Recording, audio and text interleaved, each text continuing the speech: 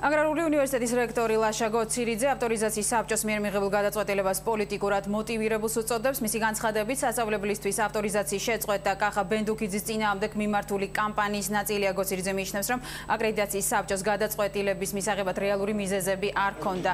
მისვე ინფორმაციით, უნივერსიტეტის ადმინისტრაცია აკრედიტაციის საბჭოს მიერ მიღებულ გადაწყვეტილებას კანონმდებლობით გაასაჩივრებს. აგრარული უნივერსიტეტის სტატუის ავტორიზაციის შეწყვეტა, ავტორიზაციის ჩამორთმევა არანაირ რეალურ საფუძველს თან არ არის დაკავშირებული და სიამდვილეში საბჭომ, რომელმაც ეს გადაწყვეტილება გამოაცხადა, ეს გადაწყვეტილება გამაგრებული იყო მხოლოდ და მხოლოდ საბაბებით, ანუ იმ ტექნიკური უზუსტობებით, რომელსაც განათლების ხარისხთან არანაირი კავშირი არ აქვს. იმის გამო, რომ ავტორიზაციის შეწყვეტის რეალური საფუძვლები არ არსებობდა და იქნა გამოყენებული მხოლოდ და მხოლოდ საბაბები.